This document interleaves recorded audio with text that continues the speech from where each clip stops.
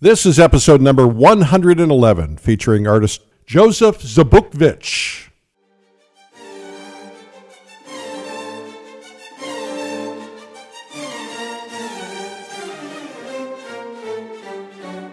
This is the Plein Air Podcast with Eric Rhoads, publisher and founder of Plein Air Magazine. In the Plein Air Podcast, we cover the world of outdoor painting. Called plein air, the French coined the term, which means open air or outdoors. The French pronounce it plein air, others say plein air. No matter how you say it, there is a huge movement of artists around the world who are going outdoors to paint. And this show is about that movement. Now, here's your host, author, publisher, and painter, Eric Rhoads. Thank you, Jim Kipping, and welcome to the Plein Air Podcast. My name is Eric Rhoads. I'm the publisher and founder of Plein Air Magazine, and I am thrilled today is going to be a really awesome interview. Uh, I met Joseph Zbukvic at the Plein Air Convention last year. He showed up. And he just wanted to kind of see what was going on and hang out. Maybe it was two years ago. Anyway, I asked him to come. I've been trying to get him to come for about, um, I think, about seven years now. And um, he came in with Thomas Schaller, who was on the faculty, and uh, he saw everything that was going on. He says, "Yeah, I'm in," and so we booked it for this coming year. So Joe is probably the world's best watercolor artist, uh, and there's so many great watercolor artists, but he's kind of the king of the pack. And so this is going to be a great interview with him today. You don't want to miss it. The podcast is brought to you by American Watercolor with Kelly Kane. We hired Kelly to be the editor of Plein Air Magazine. She's doing a great job. She came from Watercolor Magazine, but we asked her to help create this new watercolor publication as well.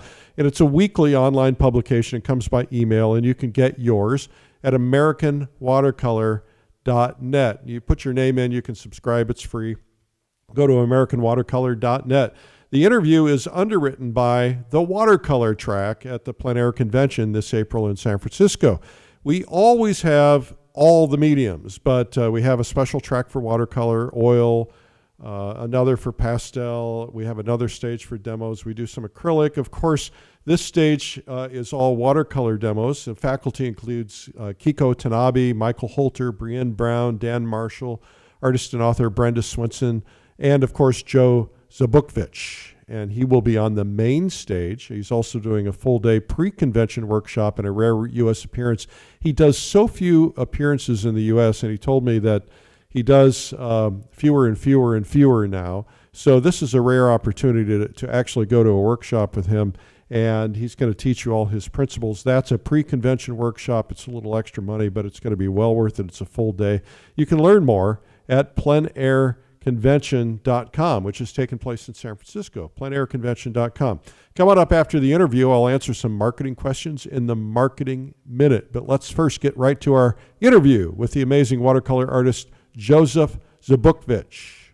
Well, we're we're honored to have Joseph Zbukvic on the Plein Air podcast. Welcome, Joseph. Oh, well, welcome, Eric.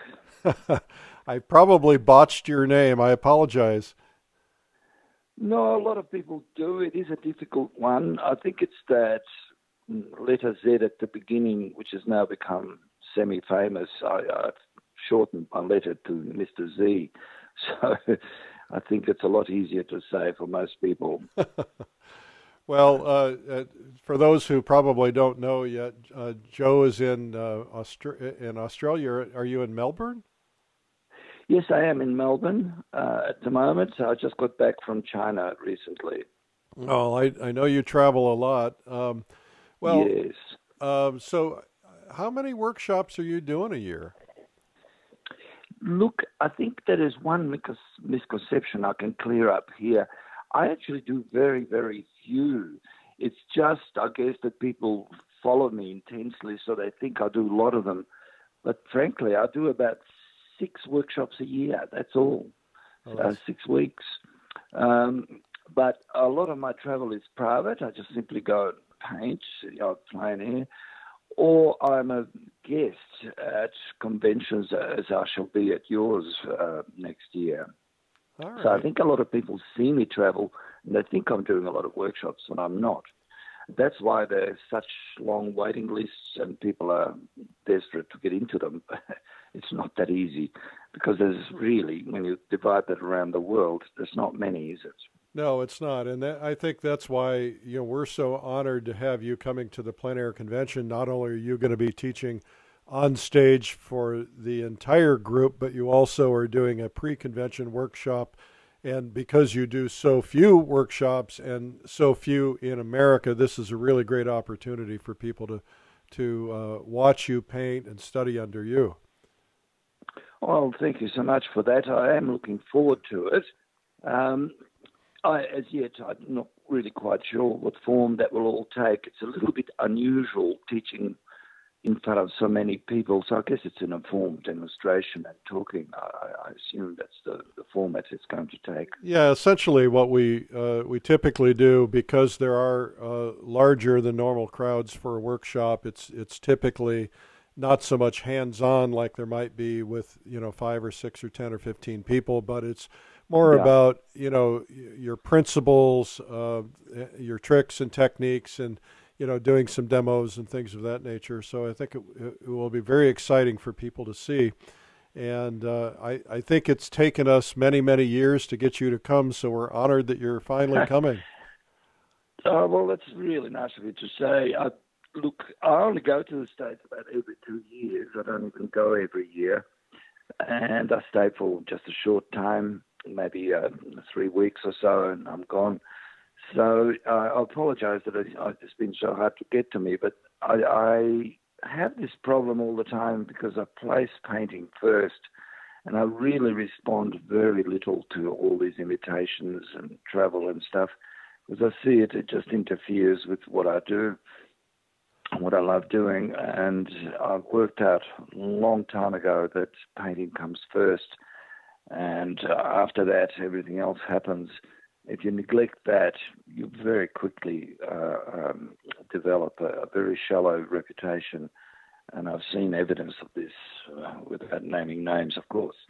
Uh, it is a silly thing to do is to, to let uh, other things interfere with your work.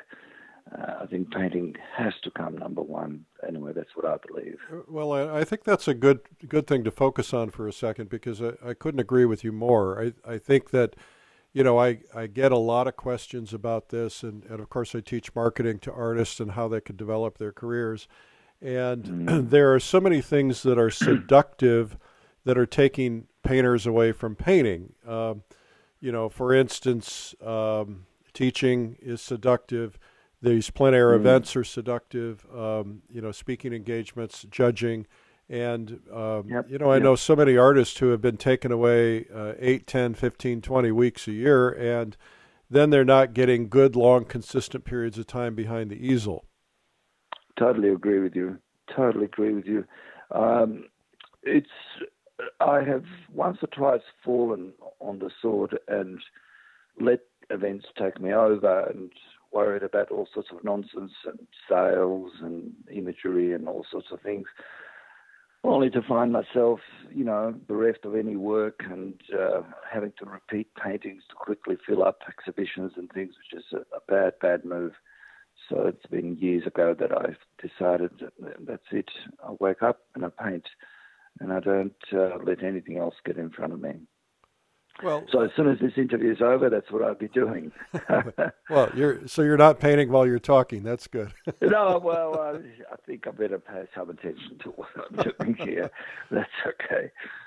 Well, I, I think what I'd like to do is to back up all the way to the beginning and understand how you got from the very beginning in, in your start to what I think most people consider as the, the world's best watercolor artist. And so, um, Goodness can, me.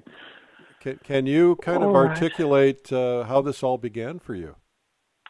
I'm not sure how far back you want to go because, of course, art has always been with me as a small child. So, I mean, we could go as far back as that, but maybe I'll just keep that very brief. Of course, I grew up uh, in former Yugoslavia, which was a communist country, and that was the reason we left in 1970. But you know, life is formed of small incidents. It's not really. You know, people think you make these major decisions and all sorts of stuff, but you, you don't really know. It's uh, like that movie, Sliding Doors. You make some little decision or see something, and your life is changed forever. I think we all know this. So when I was a child, I wasn't really exposed to art. We grew up on a tiny little farm, you know, uh, where everyone had to do their job and so on, and uh, myself included. But one evening, uh, the all the relatives were sitting around in winter. Of course, there was no TV then or anything like that. People entertained themselves around the radio or sat around the kitchen table talking. And from somewhere, my dad provided some pay ledgers that were that had blank pages on the back of them from work, and they were all sitting around and drawing. And I snuck in and did a drawing of my uncle across the table, and pandemonium broke loose because they all said it looked exactly like him. I wish I had the drawing. I was only about five or four or five. And of course, then I had to draw everybody, and I became an entity in that family. Before that, I was just one of the kids hanging around, you know, like all the kids. But then I became special. You know, anyone who came to the house, they sat them down and said, "This kid is going to draw you." and I did drawings of them. So my fame became very early. I was five, but you know, honestly, that was on a family level, of course. But it did wake me up, and I realised that I had something. It made me different. It, it made, gave me my identity. It, I became, I guess, uh, uh, someone who had something special years went by, of course, and this was all recognized in high school and so on. And I did the usual stuff, but I kept painting, you know, even as a teenager. The, the kids were buying cigarettes or wasting money on whatever, where I was buying paints and brushes wherever I could get them and gathering up anything flat that I could paint on. But in those days, I painted poster paint, uh, gouache, not watercolor. Watercolor was discovered later. Then we emigrated to Australia, and my father, to entice me to go, I didn't want to go, I was 18, said you could do art at university instead of doing languages, which is what I was doing, which came in incredibly handy because I could speak English clearly when I arrived. So I went to uni and discovered watercolor, and then the rest is history, really. Uh, my career took off very quickly. Um, by the time I was 26, I gave up full time work and had first solos and um, have never looked back. And it's just been getting better every year. If you look at my career, I guess, you know, uh, my painting, of course, has also improved immensely. And if I can say, this is a handy subject for you, that it was actually the plein air thing that did it before, uh, let's say I was probably, I did do some plein air work by myself, but I kind of didn't take it very seriously. I just went out to do some more drawing, coloured in with a bit of watercolour. I uh, was taken away on a painting trip with a group of painters, probably early 80s, and I failed miserably because I was so used to doing studio work. I, I came back with one little painting after a week and much frustration. But it set me on a course, and I uh, decided to conquer this. And I went out almost daily. And nowadays, a lot of people don't even know this.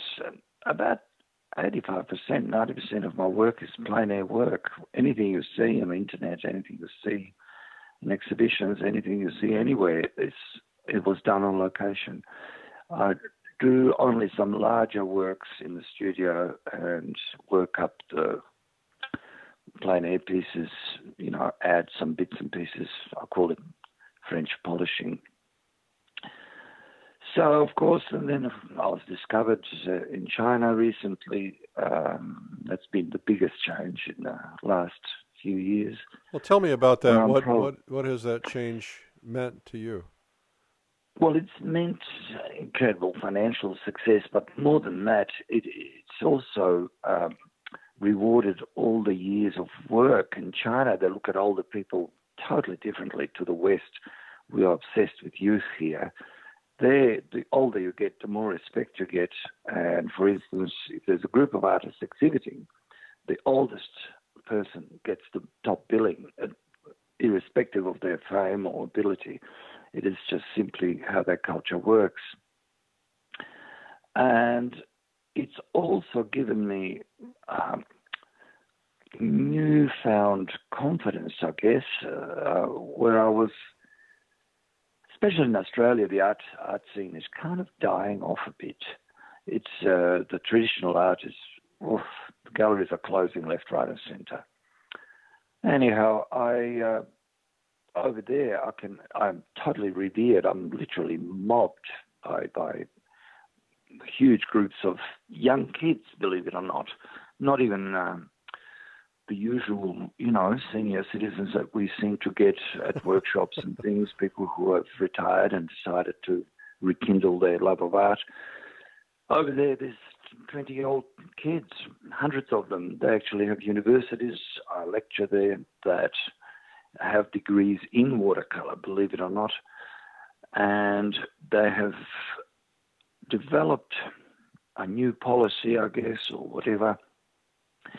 They are inviting the Western artists to come over and give them um, lectures and um, demonstrations and workshops, and they're embracing it with open arms.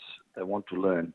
Yeah, I was uh, just I, I, was just uh, made aware of an opportunity to go to China uh, for three weeks, all expenses paid by the government.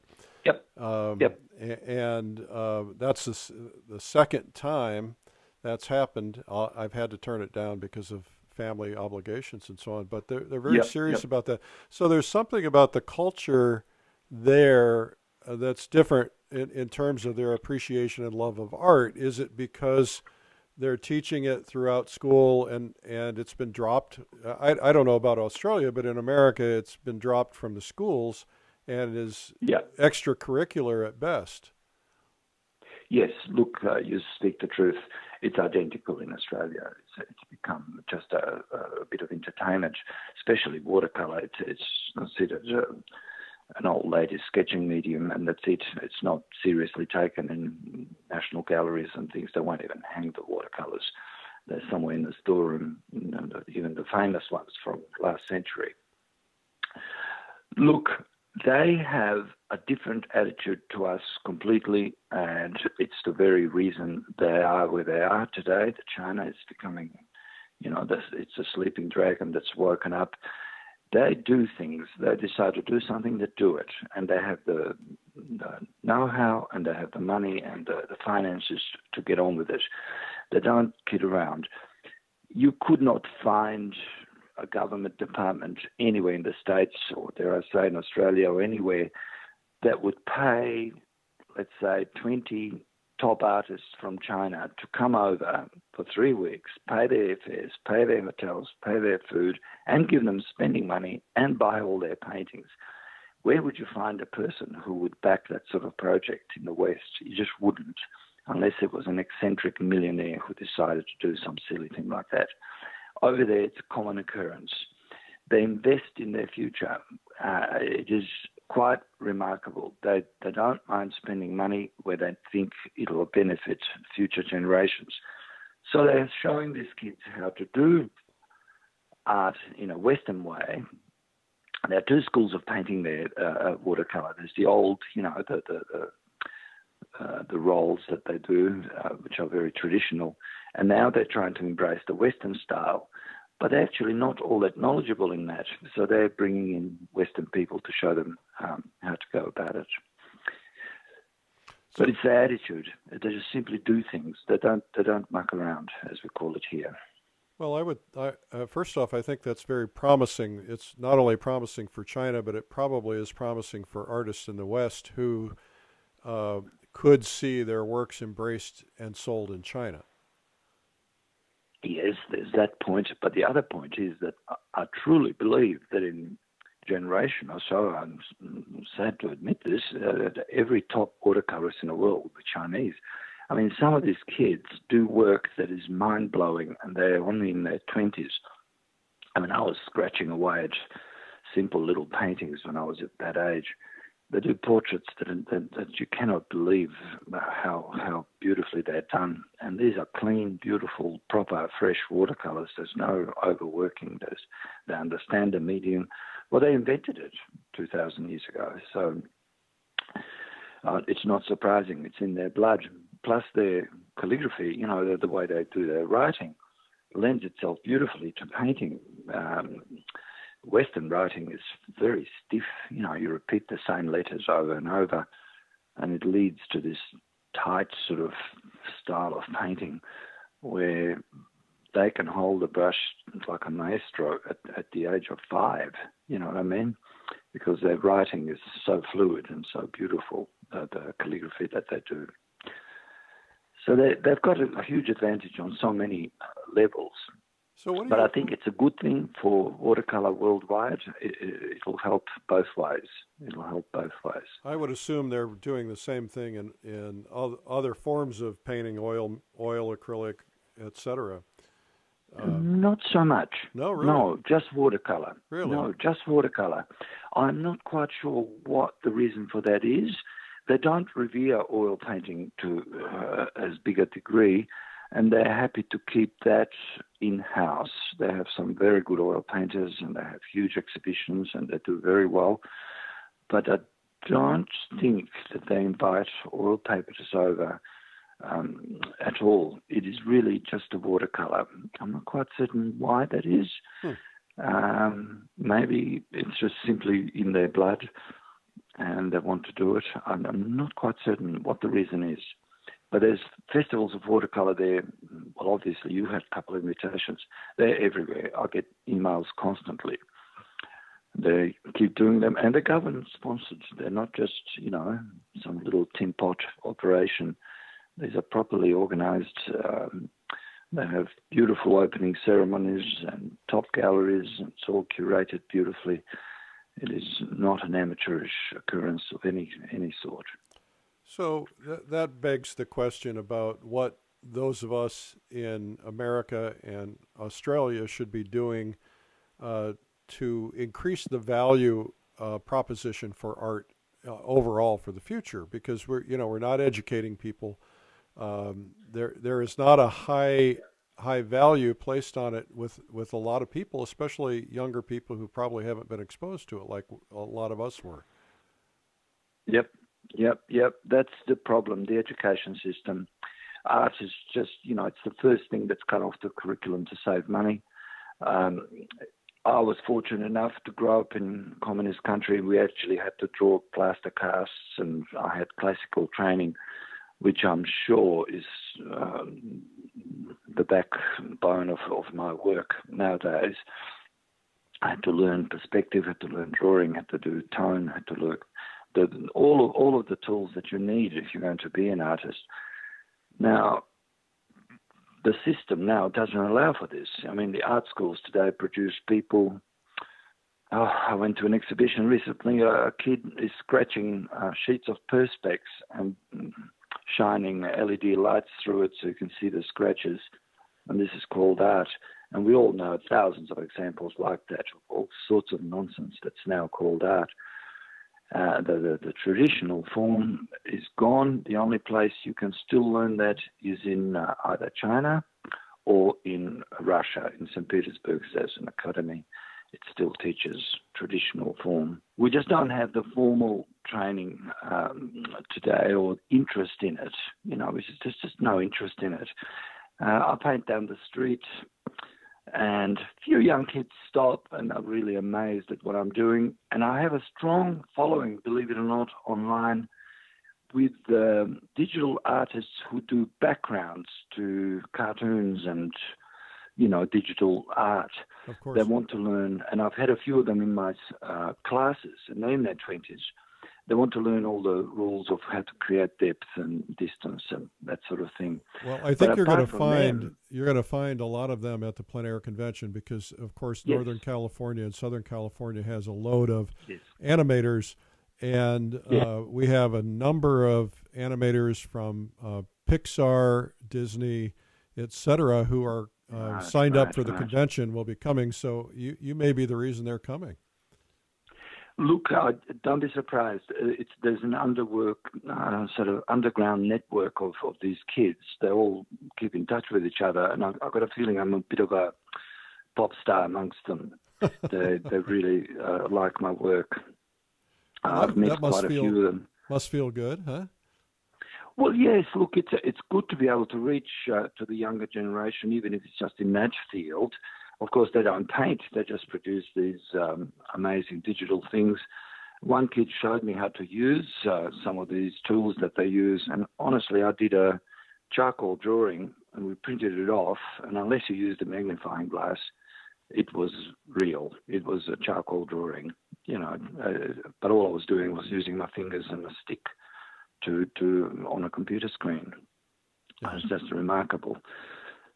So that's one future. But uh, as far as poor old watercolor goes, you know, and traditional art goes, I think we are in the West, in particular, in serious trouble with, with all that.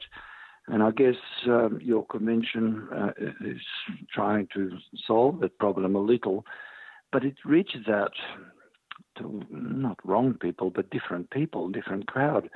Young kids, you know, they're on the mobile phone, or you call them cell phones, I think. Um, they are busy making money. My studio is next door to a very trendy cafe, you know, the, the hipster heaven. The, the, you can get a thing that's called deconstructed coffee, and that is you get a hot and cold glass of water and a, and a concentrated shot of coffee, and you can make your own coffee. This will cost you eight dollars. but these kids walk past my window, and I have always a painting in the window, or I'm in there working. They don't even see it. They they just walk past. Their their world is so different that that sort of activity, someone creating something by hand, is just not in their world.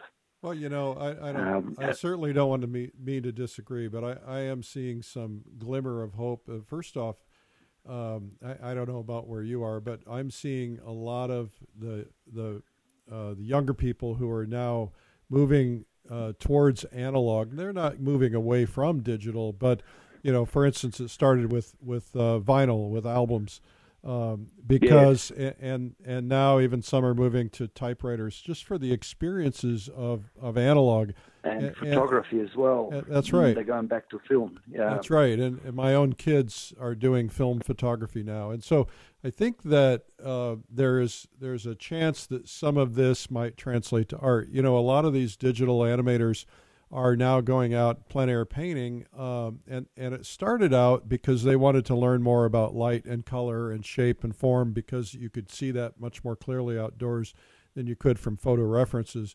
And, and now they're becoming addicted to it. They're loving the, the yep. idea and the experience, not only of, yep, yep. of painting for themselves, but painting with other people. So maybe there's a little bit of hope, a little glimmer of hope anyway. Uh, look, I totally agree with you. There is a subculture. Um, there's kids now making things out of wood. There's a little shop just up the road from me, and the guy's collecting, you know, recycling timber, and he's making chairs and bits and pieces from that, and sanding in there by hand. And he looks like he's only in his twenties. I haven't met him yet, there is all that, and I see kids with real cameras, you know. And I asked one why he was doing it, and he said it was real. He said that the the digital camera, if there's no electricity, it's it, there's nothing there. This is actually real. The moment you press that shutter, that photo is there forever, unless it's burnt or destroyed. So that's that's interesting that they are coming back to it, and it is pleasing, and I'm really hoping that that it will revive itself somehow. And that's how things start. They always start from grassroots, don't they? They're not imposed by anybody. That's right, and, and they all they also start from younger generations who want something different from maybe what their parents they have had. To. Yeah. So, so yeah. Yeah. Joseph, I, I'm curious about. Let's talk about painting specifically in terms of process. Um, yeah. If if you had to start from scratch today, knowing what you know, uh, mm. knowing the track that you went through. It sounds like you were born with some natural talent, which doesn't happen very often, but you've taught enough students over time. What is the the best way for someone to learn the full process of painting uh, from start to finish? Uh, well, of course, today there's so much more available than there was when I started. Um, uh, there was not even the DVDs or, or, well, they used to have those tapes in those days, videos. Um, but there was not even those. There was a few books, mm, and they were not very good. And there was a few teachers, but there was mainly people trying to make a few dollars on the side. It really was not a, a, a great place to learn to, to begin. So I'm totally self-taught. I've never been to a teacher. I just simply went out and did it. Now, you said it yourself. I was lucky. I had natural talent which I just evolved by myself, and I came up with my own technique for what it's worth, just by trial and error. Today, you do have an amazing array of help if you need it. You can learn online, you can download things, you can have DVDs, you can have teachers everywhere, travel the world following, you know, famous uh, teachers. You can do whatever you like. However, I'll say a word of warning that that in itself can be a trap. I personally actually avoid looking at too much art and too too much work from other people. I find that it pollutes my brain, and I can't help myself. I end up repeating something that I saw that Alvaro did or, or whoever. So, in a way, that's not a good thing, but in a way, it is it's like everything else in life. You know, it, it cuts both ways. It's very helpful, but you can overdo it. And uh, there are people who go from workshop to workshop to workshop and really never develop their own style and never really paint by themselves. Well, that can I've become very confusing because you you know you're it you're is. getting contradictory information from five different people constantly. Yes, uh, it it is not a good way to go. Just as it's not a good way to go to follow a particular person and become obsessed with them. I mean, I have probably more copiers in the world than any artist. I know I keep seeing the famous cars with a white windshield everywhere. I mean, following a particular person also robs you of your original idea. So, what I'll say is this that you need to believe in yourself a bit and get some basic knowledge first, you know, just how to do washes and how to mix colors or whatever, and learn about tone and value and few a few technical aspects like that. But I think as soon as you've got a reasonable facility with with those elements, you really should strike out on your own. And the few talented people that I have met in my classes, I have given them that advice. I've stopped them coming to my workshops too much, and I've said to them, just go out there and paint. Just paint. Don't don't think. Don't try to overanalyze it. Don't make a big story out of it. Just simply put that easel up and paint, and it will come. It'll find you. And this is the thing that I always say to people: you don't decide to become an artist; it chooses you. And if you're going to be an artist, you're going to be an artist. No amount of teaching, no amount of saying, I will be an artist and buying expensive equipment and going to workshops and things is going to make you an artist. You can't make that decision for yourself. It, it really comes from somewhere else. I'm not sure where that is. And I was the fortunate one to be chosen. As I said, at the age of five, it was already there. So I, for to, to summarize at the end, I will just say to all those people who, who do painting and are kind of striking out and, and wanting to find a shortcut, there isn't one. There's just lots of hard work. And if they were to go to academy in Moscow and St. Petersburg or in China, they'd find that they'd spend four years just drawing and maybe helping the master to mix some paint you know, they wouldn't even be allowed to touch paint for, for a couple of years. So it's a completely different road. And uh, was Robert Wade who said that painting was a 25 year apprenticeship. And I, I truly believe that. I don't think it was certainly 20 years or so where I could say, yes, I started to produce something worthwhile. Before that, I painted nice pictures and sold them and did very nicely. But really, I started to get into the nitty gritty of it after many, many years of, of painting. Today, everyone wants everything, press a button, it's done. You know, uh, unfortunately, people are just not prepared to put in years and years of hard, hard work like they used to. I sound old, don't I? well, oh, well, one of the things as I was preparing for this and looking through um, a, a, number of paintings that you've done recently, uh, one of the things that I noticed is that you you manage in every painting to create a mood. Is that is that something that is intentional? Uh, is it something that just happens? No, it's definitely there. I don't paint objects themselves. Painting pictures is not for me. I mean, there are people who do photorealism and things like that, but even that can be taken. Like you've got Angus McEwan, for instance, he does super realistic paintings, but they have something to them, some some kind of a extra dimension which cannot be defined. And that's the thing. People call it mood or atmosphere or whatever. I couldn't tell you even how I achieved that. It's kind of a subconscious effort almost. And I find that if it's not in my painting, that painting will never make it to the gallery wall. Uh, you know, it'll be discarded. It is what I seek.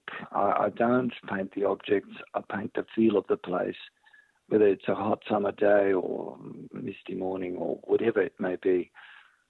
And to achieve that, there is no formula. You just simply have to feel the, the place and get that somehow across by using very traditional tools, you know, tones, edges, all the usual things. That technique itself is the same as Rembrandt used or, or Sargent or whoever, you know, every painter that's ever lived from Egyptian times. But to get that something else, that, that feeling, oof, I, I wish you could somehow, I don't think you're meant to uh, have a formula for that. I don't think it's doable. And some people try it, you know, they have cute kids on the beach with a bucket making sandcastles and then you end up with corny paintings, if you know what I mean. Yeah. That kitsch type of look, where it is mood, but it's, you know, it is kitsch. And then you've got Norman Rockwell who did it, but somehow with him it was art. So there's always someone who can push that edge and make it work. It's an interesting thing. Now, when when you uh, when you show up to a place to paint, do you hmm. have do, do you just sit and study? Do you just jump right in? Do you do you have a planning process? What what's going through your head? Yes, look, uh, I do take my time. I've learned over the years that jumping straight into it is not a good move. You, you can end up not thinking it through. And the number one thing I look for is composition, of course. But I also wait for. Oh, I don't know what you would call it. It's a vision, an inner eye vision. I can see the finished painting on my paper, and until I see that, I don't start. I find that if I start before that, I'm just blindly going on. I have no idea where I'm heading. But if I can sort of see more or less where this painting is going to go, what sort of look, what sort of colouring, where the where the strength is going to be, where the edges are going to be, I sit there and study it for a while. But this is me. You know, I've just had a week away with uh, a few buddies painting, and Alvaro is amongst them, and Herman Pekel, and some other guys you wouldn't know. And Alvaro is the opposite. He just gets there and into it, and he just has this huge energy but he has a failure rate, you know, because they don't sometimes work because he goes into it a bit too quickly. But when they work, they're amazing. So that's his technique. He just battles into it, and and if it works, it works. If it doesn't, it doesn't. So for him, that works. Uh, Herman Pekel, he always spends a little bit of time as well and has a good look and really is a master of composition. He will get a painting out of almost nothing. Um, so I find that when I get to a spot, I won't stop unless it's a good composition. And secondly, I won't start painting until I see what I'm going to paint on my paper. Doesn't always come out as I saw it, but it gives me that lead. I then go towards it. I, I aim towards it, and but I listen to the watercolor as I paint, and change my mind and go with it. I dance with it. You know, I let it change my mind. If if I do a wash and there's something happening at the bottom of it that I wasn't planning, but it looks terrific, I'll I'll keep it. I'll go with it. You know, I'll let it demand what I should be doing. I always say until I start painting, I'm the boss. Once I start painting, watercolor's the boss. It decides where I go. It tells me. And if you don't listen to that, you don't end up with a good painting. Uh, and if there's a failing amongst students that I see all the time, is that inability to see what the watercolor is telling them. Like there, there may be a beautiful edge happening on a wash or something that you could really make terrific use of, but they don't see it, so, so they paint over it, or they don't simply just even see it, they don't even notice it. So this kind of a one-on-one relationship with your painting, this dance, this this this two-step. If you don't develop that, you'll never be an artist. It's as simple as that. I don't mean to be uh, cruel about it, but that, that's how it works. Uh, it you really need to understand that medium, and you need to understand its possibilities, where it can take you, and then you just follow that. And when you master that after about 20, 30 years, then it's easy. there you go. it's actually quite easy to paint. You know, I, I, don't find it very difficult nowadays. It used to be really difficult uh, because I did struggle with with things because I kept aiming for what I wanted to do. I didn't listen to the watercolor. I didn't listen to my painting. I just thought, no, I want this, and watercolor was saying, "No, look, stupid. Here is a beautiful passage here. Why don't you do something with it?" But I would obliterate it because it wasn't in my plan. So I don't do too much uh, planning. I actually just simply respond to the subject and to the painting. And we kind of work on it together till the last stroke. And of course, stopping when you should stop is another how do you know? How do you know? Yes, as uh, I don't know if you Whistler was a very pompous man, and a lady asked him once, "Sir, can you tell me how do you know when your painting is finished?" And he answered in his pompous way, "When I say so, madam." well, I think it's a little bit like that without being pompous you just got to cut it. You know, it, it is so easy to just say, "Oh no, I'll just do a bit, a bit more, a bit more." And I still do it. Don't worry. I know. Important for me to pass that on to you. Foolproof. Um, I did nine works in three days on this trip, and two of them are overcooked. I just simply kept going towards the end where I should have stopped and let it sit where it was. So they're the only ones that failed. The other ones are good because I just said, okay, uh, any other addition uh, would spoil the, the message. You know, that would be it. It spoils the feel of it. One stroke extra and it's all over. Yeah, it's knowing. But how do you know this? I don't know. I can't tell you. Yeah. You know, you just simply have got to, uh, sure. again, really look at the painting and understand it.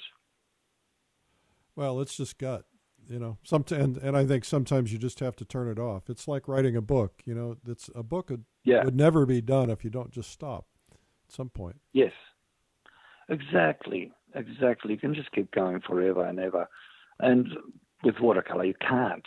I mean, that's the difficulty of it, but it's also the beauty of it. You know, um, I've done some oil painting, and apart from it being so boringly slow to paint, You can do miracles with it, but it's very slow.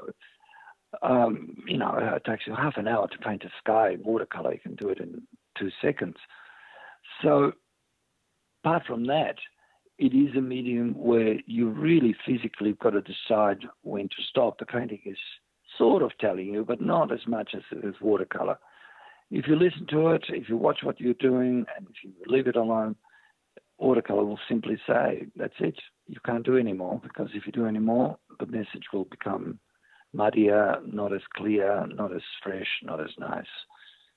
So there was. So a, it's just a matter of paying attention. There was a time, um, not so long ago, when watercolor paintings were not necessarily desired heavily by the gallery scene, and it mm. seems seems to be changing. Uh, why do you think it was, and why do you think it's changing? Well, that question has always been around, and I, I, think it's purely historic. I mean, if you go to museums in Europe or castles and things, they're filled with oil paintings. Because simply uh, in the old days, we're talking a few centuries ago, uh, people who had the money and wanted to decorate uh, their castles or villas and things, well, they got oil painters because that's all there was around, and the bits of paper that you could do watercolors on was tiny where you could do giant oils. So it's purely historic. And then, it, of course, people were exposed to it over the centuries, visiting these museums and galleries and looking at oil paintings. So the psyche of Western thinking was um, proper oil painting. Uh, proper painting is oil painting. Uh, I must tell you a funny story. I came to pick up uh, my painting from a mixed exhibition, and the young man handing paintings out after the show had finished asked me, Are you picking up uh, a painting or watercolor? Oh, no. Um, so I looked at him and I said, What do you mean by that? And he said, Well, are you picking up a painting or a watercolor? And he was serious. And I said to him, Look, you're really playing with fire here. I mean, I'm not a violent man, but if you said that to some other watercolorist, they would not be pleased. No, but he, I could not convince him. He said there's proper painting, oil painting, and then there's watercolor. And he, he could not equate one to the other. So that's the ultimate victim of, of where we're at. As far as population goes, now we can get big sheets of paper. We have got some great uh, watercolor painters. So I think that sort of thinking is slowly turning around a bit. Well, you also don't have you also don't have the fleeting colors like uh, I, I, think originally the watercolors exactly. would fade, and they don't do that anymore. Exactly, exactly. So there's a lot of innovations that have now happened, which are helping watercolor out. And look, fashions are fashions. Um, they go in circles. I have been in the game now 40 years, and I've watched watercolor go up and down. It goes in about five year cycles. It takes a year or so for it to become popular. Then it's popular for a year or so, and then it takes another year or so to go down again, and so forth. So oh. every five years, it reaches a bit of a pinnacle, and then it goes down, sometimes a bit longer. At the moment, it seems to be um, picking up again. Uh, it was down like two, or three years ago. It was definitely down. So it's it's just people's uh, fashions and things and decorating. And then you've got, of course, the problems of uh, reflecting glass and so on. People don't like it. If they're decorating, they can't see the painting, and so on and so forth.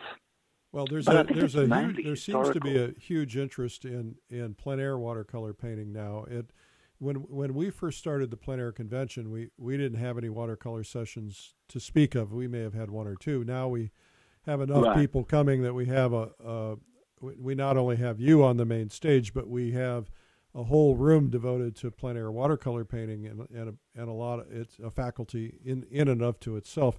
So we're seeing a, yes. a huge resurgence in popularity from that standpoint. So it used to used to be, from my perspective, that most of the watercolor painters were sticking to the inside, but a lot of them are now mm. discovering the importance of going outside. Probably thanks to people yes. like you. I guess so. I guess so. I think that's what's happened. Well, look, I think a lot of it is to also to do with uh, you know internet and so on. It becomes uh, accessible. So uh, Betty from a little town in the west somewhere, she'll turn on her computer and, and, watch me paint or whoever, and uh, it spread the news everywhere. I think that's also uh, one of the elements that's brought it out. Well, it's been uh, a real joy to have you on the Plein Air podcast today, Joseph, and, and we're very much looking forward to having you uh, both in the pre-convention workshop and also on stage, the main stage at the Plein Air Convention this year in San Francisco in April. And uh, thank you so much for doing this. Absolutely, pleasure is mine, and I look so much forward to it. I have made many friends in the States now, and I hope some of them can make it there and we can uh, hang out together and have a few beers after painting, of course. so I do look forward to it. and I look forward to seeing you again. We only met once, I think, in San Diego. Yes, you came to the Plein Air Convention in San Diego. That was nice. That's right. That's right. I had a little hangout there with Daniel Marshall. So it's all good. I thank you, and we shall see you in not that long to go. It's tomorrow, I think, just about.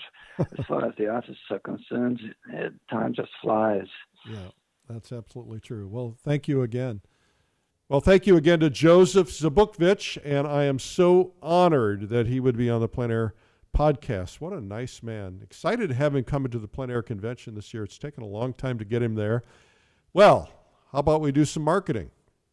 This is the Marketing Minute with Eric Rhoads, author of the number one Amazon bestseller, Make More Money Selling Your Art Proven Techniques to Turn Your Passion into Profit. In the Marketing Minute, I try to answer your questions, which you can email me anytime, eric at pleinairmagazine.com. Here's a question from Kevin in Nashville, Tennessee. Kevin says, Eric, I've been working on art and finally have decided to start selling it, start marketing it. Where should I advertise? Well, Kevin, asking me that question is probably not very objective because, of course, I'm going to tell you you should advertise in Plein Air Magazine, Fine Art Connoisseur, Artists on Art, American Watercolor, Plein Air Today, and Fine Art Today. Lots of good options. Uh, but quite frankly, even though they're good options and very targeted to very specific artists like fine art connoisseurs, very targeted to collectors, plein air reaches the plein air collectors and the artists. But I have to tell you that most advertising dollars are wasted, right? Because many people don't understand advertising. And, and one of the things that happens is when you're first learning advertising, you're going to easily get seduced by things that people tell you, which may or may not be accurate, but most importantly, not necessarily effective for you. Most people spend their time and money where they are comfortable and where their friends are. Let me give you uh, an example of that, for instance. Uh, I had this guy named Murray uh, who adverti- uh, I tried to get to advertise with my radio stations one time. Um, he owned a clothing store in Salt Lake City that appealed to teenagers.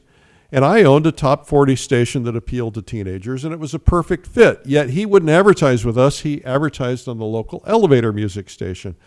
And when I asked him who his customers were, he said they're teens. I said, Well, why do you advertise on the elevator music station that doesn't have any teens listening?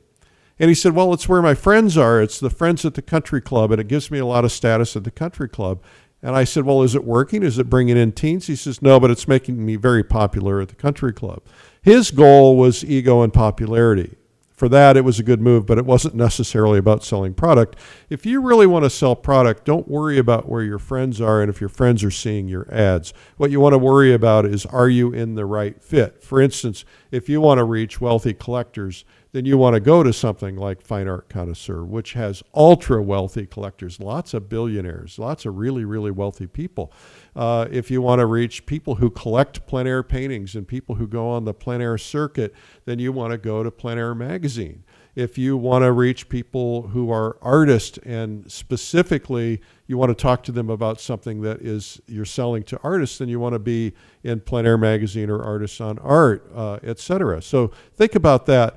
Uh, but good advertising is about good targeting. Pick a place that matches what you're trying to accomplish. And of course, if you read my books and you watch my videos, I always am talking about how you really need to figure out what you want to accomplish develop a strategy before you start doing a tactic. Advertising is a tactic, an important one, no less, but you have to be ready for it and advertising takes some time. You got to do it right. We can walk you through how to do that. Anyway, I have a whole section on that in my book.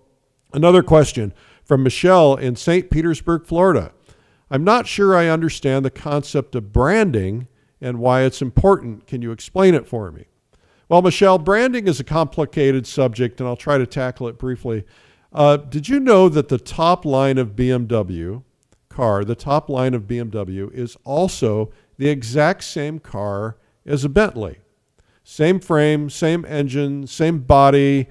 Uh, the style is the body style is slightly different, but everything is about the same. The only difference is the manufacturing cost it's $18,000 more because they put some special interior touches and they put the special Bentley grill and stuff like that on it. Yet I'm told the difference in price is $150,000 more than the BMW. So you could buy the BMW for $150,000 less and get about the same car. Yet Bentley is the top upscale brand or one of the top, and you have to be very, very rich to drive a $250,000 car. Yet it's still a car. Why not just buy a Kia for $20,000, right? Well, it's not about transportation, is it? It's about stature, it's about status, it's about self image of the buyer wanting to be known for and seen with the best. And it's not just that, it's uh, creating a position. For instance, you could buy a TracFone for about a 100 bucks. Why bother with an iPhone that's a 1000 bucks? Well, it's because you want the cool stuff, but you want the status with it. Most of us don't think about the status, but there's kind of a little hidden thing in the back of our head that we want the best, right? Price appeals to certain groups. High price appeals to other groups. Low prices appeal to certain groups. Ultra high, ultra high prices appeal to certain groups. So the brand you reinforce helps people determine if you fit into their world. I've told many times about the lady who tore up a check when the man said, she asked the, the man, How much is this painting? He said, $4,000. She wrote a check for $40,000.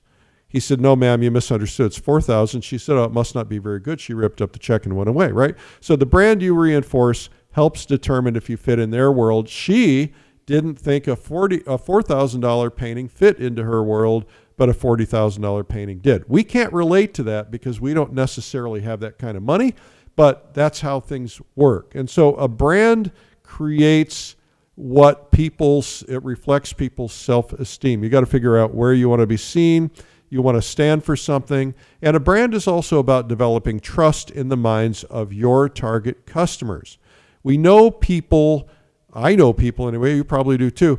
Uh, we know people who sell their paintings for a million dollars or for a quarter of a million dollars. And we also know paintings that are the same size and maybe pretty close in equal quality that are a whole lot less money, but it's because of the brand of the artist, because the artist is well known. The artist has proven himself or herself and developed a following, and that's what branding is all about. So when you have a good brand, it really serves you because it helps you get better prices. But you have to build that brand. That doesn't happen overnight. We have a whole section on the book in that. Anyway, hope that helps. Today's podcast was sponsored by American Watercolor Magazine with Kelly Kane. It comes out weekly to your email. You can get yours at AmericanWatercolor.net. Don't forget it's .net, not .com. Dot .net, AmericanWatercolor.net. The interview is underwritten by the watercolor track of the Plein Air Convention in San Francisco this April. It's going to be a blast. And for those of you who don't know, uh, if you're into uh, going out and painting in San Francisco, that's great. We've got some killer locations. It's going to be fun. But we also this year, because there's some folks who don't want to drive, they don't want to park, and there's some folks who want to just kind of stay indoors, we've developed a special indoor painting track as well. So we're going to actually project video uh, and have a room set up so people who don't want to leave the convention center, or not the convention center, but the hotel, can set up and paint. And you can see the movement, the clouds moving, you can hear the sounds, but it's going to be on video. So that's your option if you don't want to do that, if you don't want to go out and paint. Anyway, convention is going to be featuring artist Joseph Zbukvic on the main stage. It's taken us years to get him. And he's also doing a full pre convention workshop, a rare U.S. appearance. You can learn more at pleinairconvention.com. Also, if you've not seen my blog where I talk about life, art, philosophy, and lots of other stuff, it's called Sunday Coffee. Guess what day it comes out? That's right. Anyway, you can find it and subscribe for free.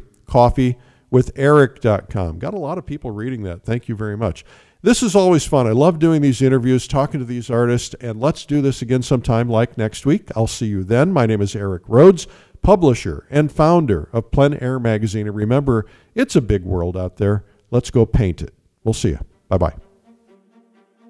This has been the Plein Air Podcast with Plein Air Magazine's Eric Rhoads. You can help spread the word about plein air painting by sharing this podcast with your friends. And you can leave a review or subscribe on iTunes so it comes to you every week. And you can even reach Eric by email eric at pleinairmagazine.com. Be sure to pick up our free ebook, 240 plein air painting tips by some of America's top painters. It's free at pleinairtips.com. Tune in next week for more great interviews. Thanks for listening.